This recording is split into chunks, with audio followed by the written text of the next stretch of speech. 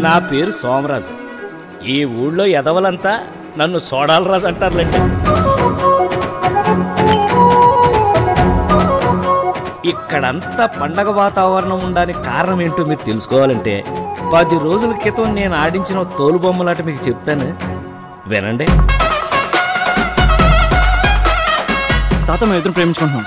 డాడీని నువ్వే ఎలాగైనా ఒప్పించాలి. మీరు వాళ్ళకి పిల్లలైతే వాళ్ళు నాకు పిల్లలు మరి. నేను ఒప్పిస్తాగా. థ్యాంక్స్ తాత. ఇప్పుడు ఇవన్నీ తీయడం ఎందుకండి? అరే గీడు నోళ్ళ సంగతి నీకు తెలియదు మీలాంటి వాళ్ళు ఇంటళ్ళు అయితే మాలాంటి వాళ్ళకి మిగిలేది బీపీలు షుగర్లే. ఇప్పుడే గిట్లున్నారు. పెళ్ళైన తర్వాత ఎట్లుంటారా వీళ్ళు? మనం ఇప్పటి నుంచి జస్ట్ బాబా మర్దలం అని చెప్పడానికి పిలిచాం.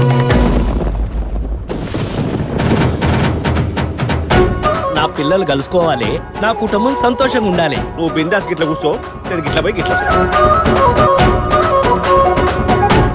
వాళ్ళని కలిపే కన్నా ఇంకా ఎర్రగడ్డ మెంటల్ హాస్పిటల్ ముందు పచాలు కొట్టడం బెటర్. నీ మనవడు ఉన్నాడే ఆడో సాలేగాడు. నీ మనవరాడు ఉంది కదా అదో మెంటల్. వాళ్ళేంట్రా? వాళ్ళ అమ్మ బాబుల కన్నా ఘోరంగా ఉన్నారు.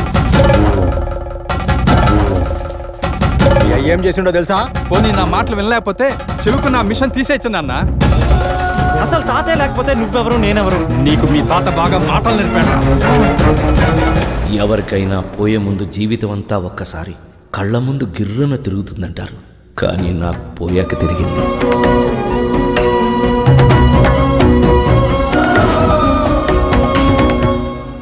ఏం తాత టెన్షన్ పడుతున్నావా? అవునరా మనవడా. నీకు విషయం తెలియట్లే. నువ్వు ఎప్పుడో చచ్చిపోయావు. ఇక టెన్షన్ ఎందుకు?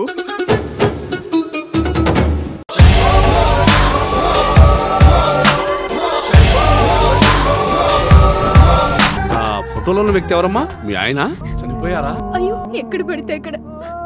ఏది పడితే అది వాగుతున్నాడని పోలీసులు నగర బహిష్కరణ చేశారండి.